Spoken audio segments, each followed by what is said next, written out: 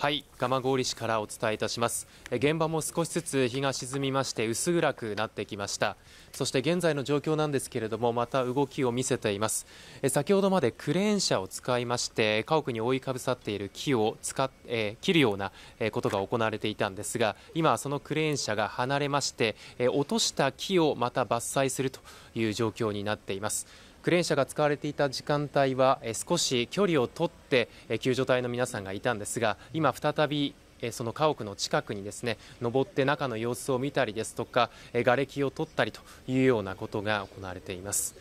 そしてこの場所がある動線なんですけれども少しカメラを引きましてこの道路を渡って家まで行くんですけれどもそこに関係車両が連なっています。災害派遣と書かれました自衛隊の車両それから消防車も見えるかと思います。ここをですね自衛隊の方あるいは消防の方が何度も道具を取ったりですとか行き来をしまして非常に慌ただしいそしていろんなものがこう行き交うそんな空気になっています。改めて現場見ていきましてもまたですね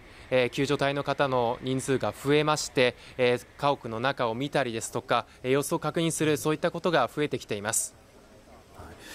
伊藤さんご近所の方から何か不安の声といったようなもの漏れてます？そうですね。あのご近所の方はやはりあの土砂崩れがここであるということが今までなかったというのが相当びっくりされていました、はい、えそしてまあ車の行き来というのは多少あるんですがやはりこれだけ大きな重機が来たりですとかあるいは警察、消防、自衛隊の車が来るということはなかったのでこれからどうなっていくのかということはお話しされていました。